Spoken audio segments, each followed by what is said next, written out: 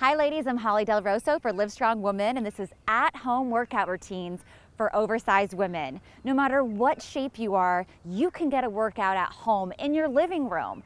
It's great because it's private place where you feel comfortable and most of the times that's when you're gonna get the best workout is when you feel 100% confident and no one is there but you and your dog. Come with me, let me show you how it's done. Plus size women, I highly encourage you to try Zumba. You guys can get these DVDs online or you can get them at your local store. And you could do about 30 minutes a day, five days a week, and you'll start seeing the pounds shed, ladies.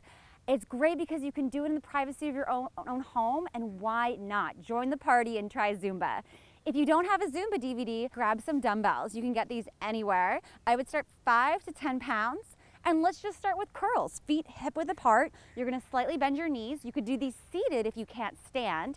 And you're just gonna lift the weights up to your shoulders and lower down.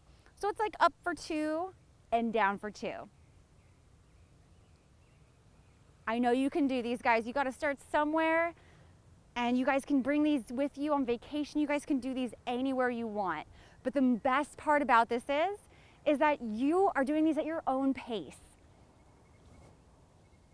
Good job, guys. Do these three times a week, 15 reps for best results possible in combination with your Zumba. Thanks for watching.